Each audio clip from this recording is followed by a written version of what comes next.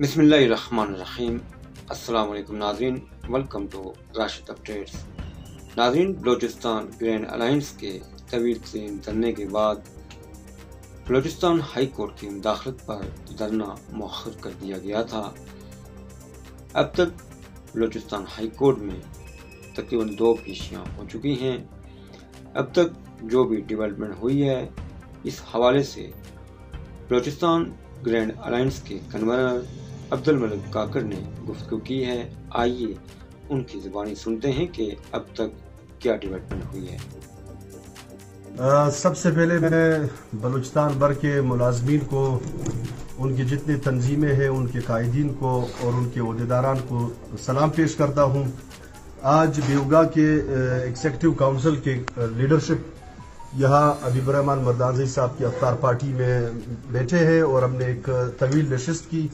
بہت سی ایشوز پہ سیر حاصل بیس مباحثہ کی اور تمام چیزوں کا ہم بارک بینی سے جائزہ لے رہے ہیں۔ تحریکوں کا جب بھی تحریک چلتی ہے، تحریکوں کے مختلف فیزز ہوتے ہیں۔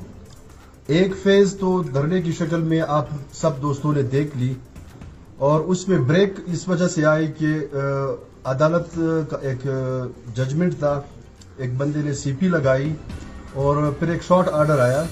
ظاہر ہے ہم عدالتوں کا احترام کرتے ہیں، عدالت کا ایک عظمت ہے، وقار ہے اور ان کے فیصلوں کا بھی احترام کرتے ہیں۔ لیکن جہاں آپ کو یہ لگے کہ عدالتی فیصلے جب بھی ایک فریق کے خلاف آتے تو یہ اس کا پھر قانونی حق ہے کہ اس فیصلے پہ سوال اٹھاتے ہوئے ان فیصلوں کے خلاف اپیل بھی کریں۔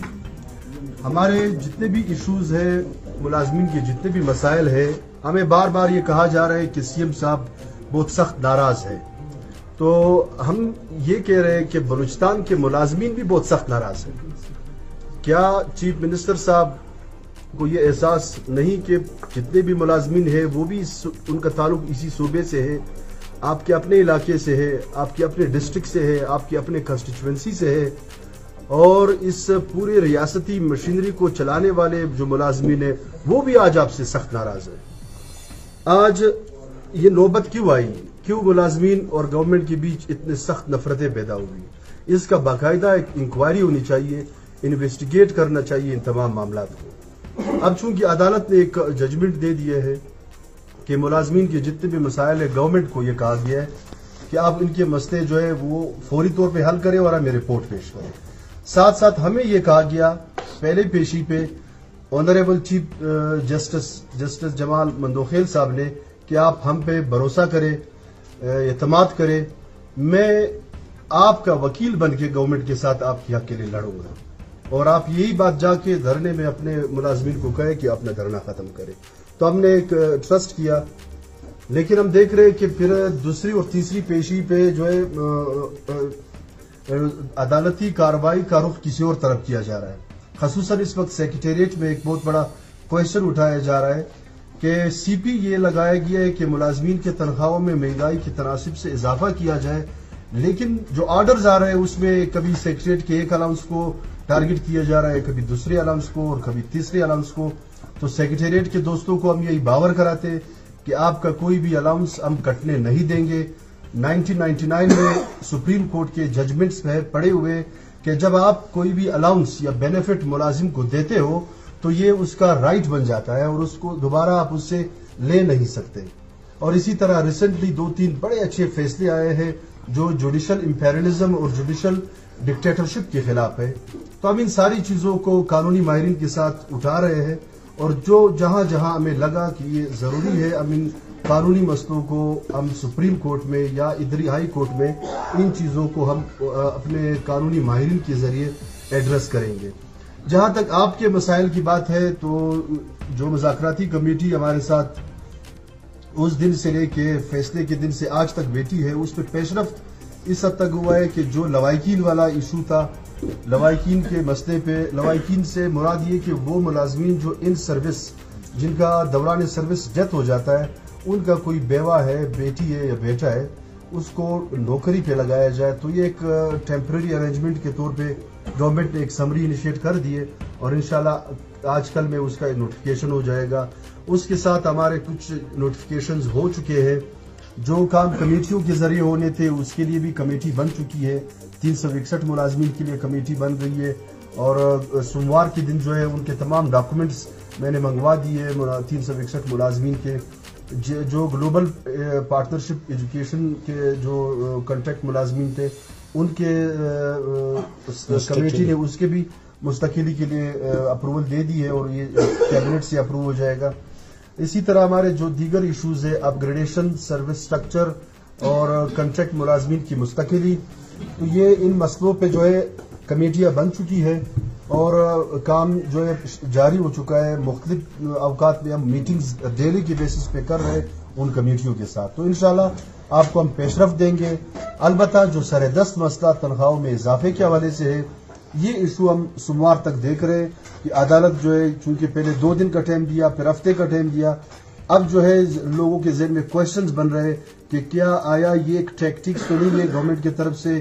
کوئی حکمت عملی تو نہیں ہے کہ ہم اس کو پرولونگ کریں اور مئی اور اس طرح پھر اگلا بجٹ آئے گا۔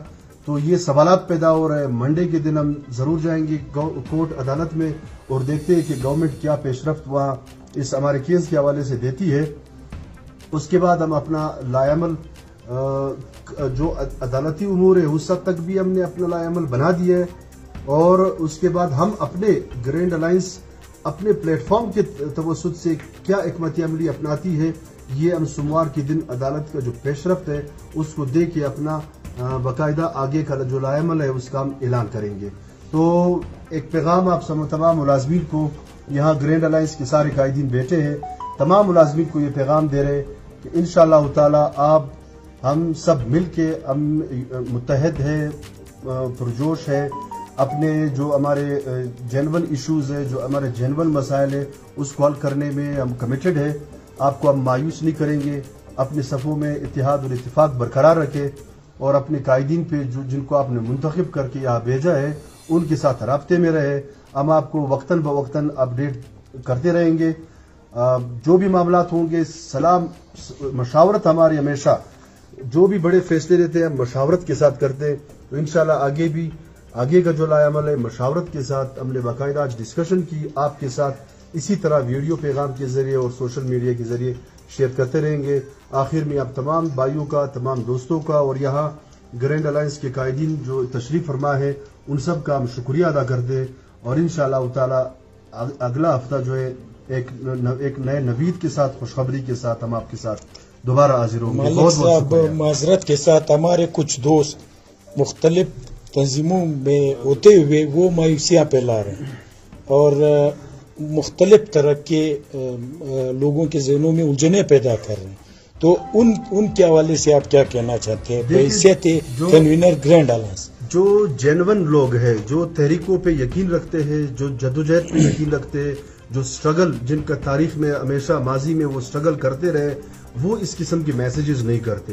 البتہ وہ لوگ جو تحریکوں سے ہمیشہ دور رہے جدوجہد سے ہمیشہ بھاگتے رہے وہ گھروں میں بیٹھ کے تکیے کے ساتھ بیٹھ کے جو ہے واٹس اپ میسیجز کرتے، وہ لوگ شاید اس طرح کے میسیجز کرتے ہوں گے۔